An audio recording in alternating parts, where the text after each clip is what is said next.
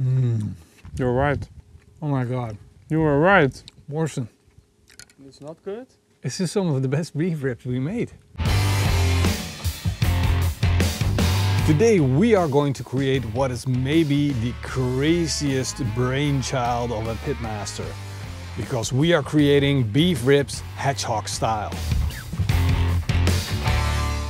Of course, everything starts with a good cut of beef. And what we've got here is Black Angus grain fed. Look at that intramuscular fat and you know it, it's so important. Plus, we got a lot of meat on our beef. This is key to the recipe that we're going to create today.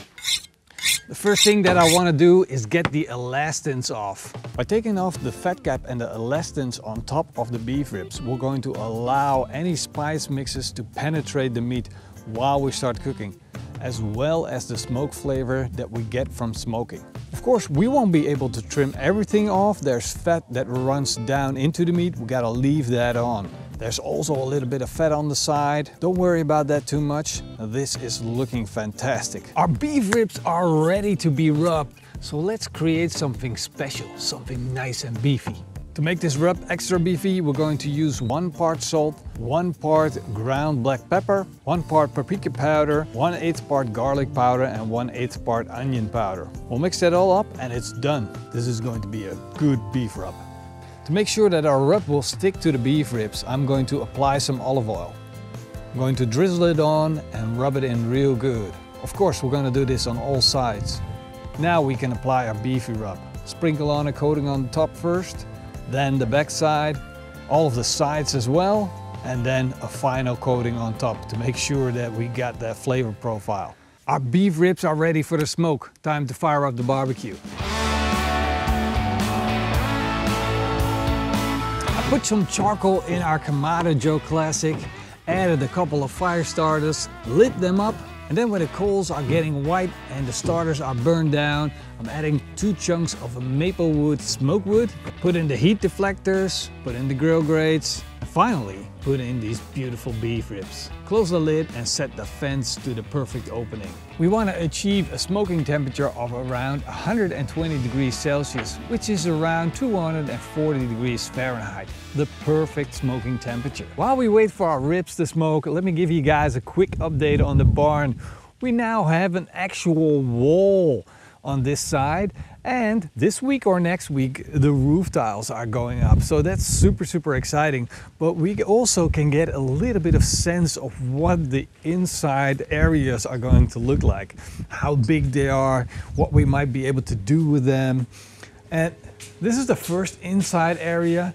We got a really high roof so all of the smoke can go up. Of course we need some vents to, to suck it out but the area is big enough to have, have at least one barbecue setup in. We also got a little bit of kitchen work in the back nice black wall behind us and this is the second area. Also very high ceilings perfect for letting the smoke out. This is going to be freaking awesome guys. Can't wait to have this thing finished being able to barbecue in it once our beef ribs had the beautiful smoke color, we took them off the barbecue, wrapped them in butcher's paper and let them continue to cook. Now they're almost done and it's time to start working on our barbecue sauce.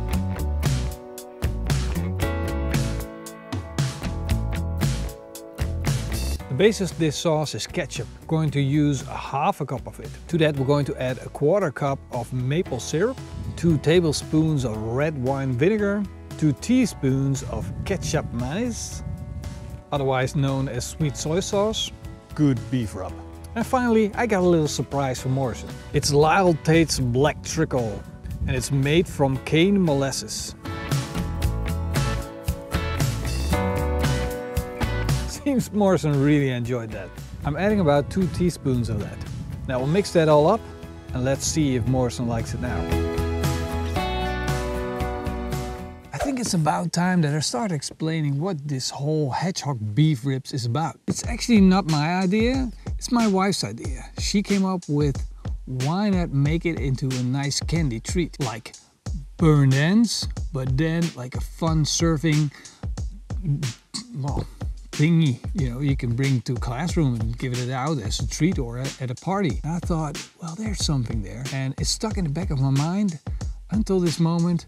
And there just has to come a time that you just have to give it a try and see if it works. So that time is now. We got perfectly good beef ribs.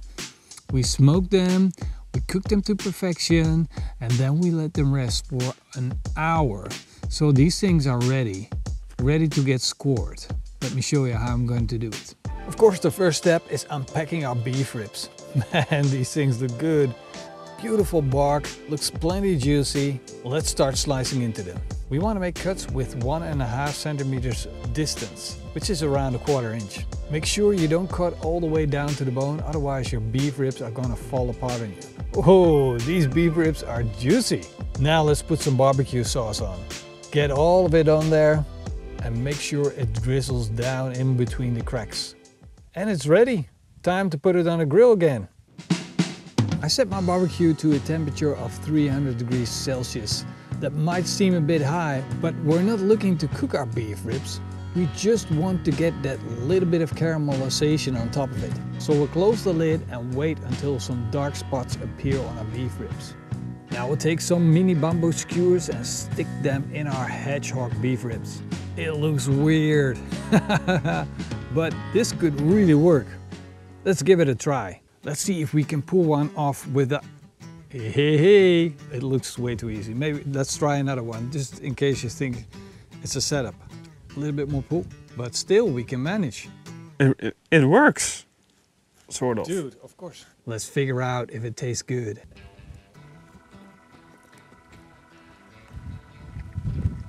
Hmm. You're right. Oh my God. You were right. Morrison, It's not good? this is some of the best beef ribs we made. No, I'm not saying it yet.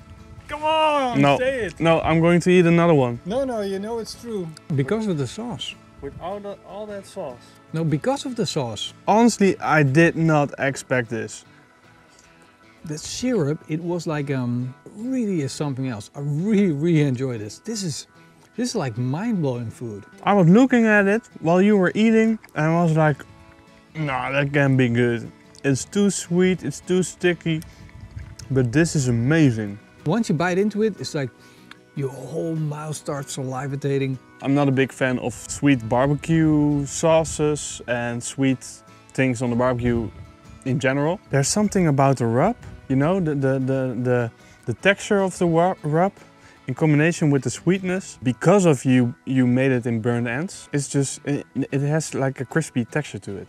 I love that. Actually, right now, I- I just have to swallow because all my taste buds are are tickled. All, all of it is just boop, boop, boop, boop, boop, like activated. So I'm gonna eat another one.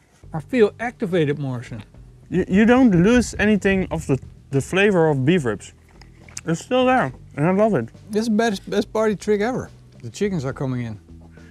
Everybody be quiet, otherwise, no samples. I think you're uh, kind of um, looking at a problem for you here. I think I'm gonna eat them all myself. When you eat a whole beef rib, you get tired of it re- really quick. I think it's the perfect balance between saltiness and sweetness. And maybe it's even better just because it's a little snack.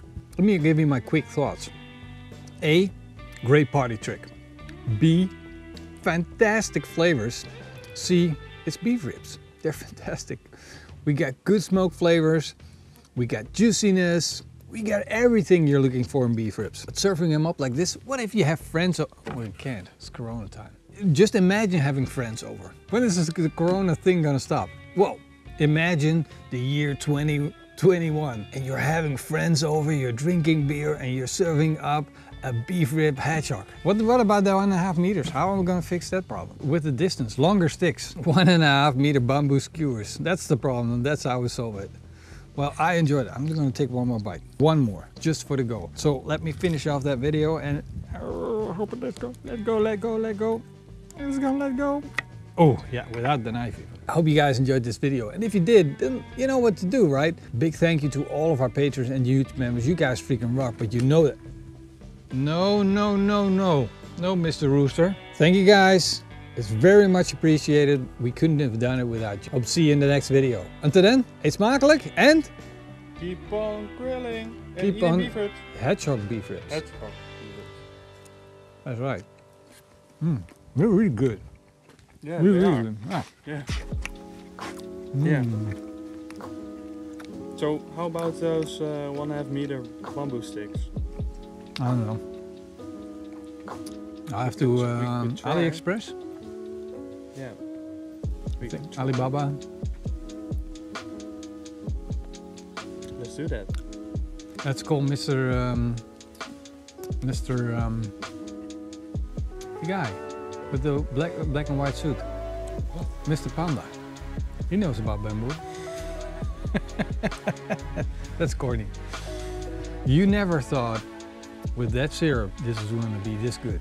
When you tasted that syrup, The- the syrup was horrible. it was so funny to see your face. You were like, It ah, horrible. It- it what's happening to me? horrible. What did you do to me? You know, uh, and it's like um, from from the origin of that syrup, you have to put it on bread, right? No, No. No. Okay. no, No. no. It's oh, a, I thought it's, people put it on the bread. No, it's like ketjap manis. You don't put it under your bread, you add it to something. Okay. It's then, like, then I can understand the. Uh, it's something you add to pudding and stuff like that. Hmm. It's like it. balsamic. It's like for candy condiment. Okay. Well, I don't like it, but it adds up.